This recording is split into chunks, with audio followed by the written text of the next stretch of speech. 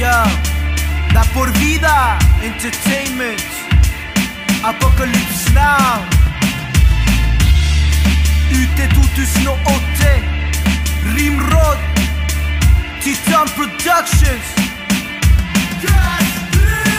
Blir sett på som psycho for min kill berger flow. Korrupsjon i verdens beste land.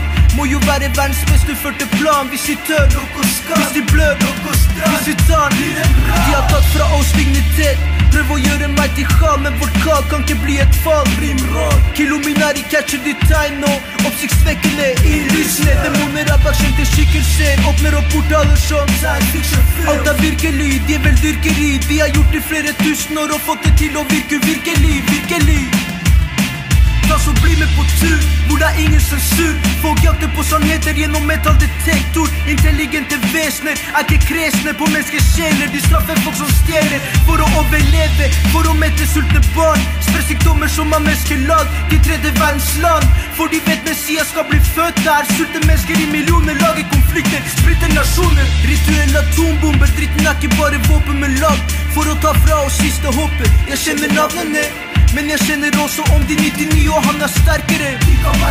Faras barn skjønner av billedbergere. Dritten har sagt, og nå vil de myrde meg snart. Få de til å se ut som en ulykke, eller vær selvmordterrorist. 99 ble det født en antikrist, og hans navn er ikke bin Laden. Aladdin, Askeladden, du har ikke skjønt halvparten. De kontrollerte oss fra starten. Alle følger strømmen, men vi går vår egen vei for å følge drømmen.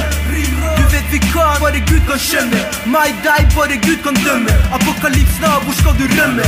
Alle følger strømmen, men vi går vår egen vei for å følge drømmen. Du vet vi kan, bare Gud kan skjønne. Meg, deg, bare Gud kan dømme. Apokalypsen av, hvor skal du rømme? Når verden hvem ville ha? Men tok dritten for gitt, hvem begynte å styre dritt? Jeg prater noe sarr, som verdens mareritt. Apokalyptisk tid, vi befinner oss i.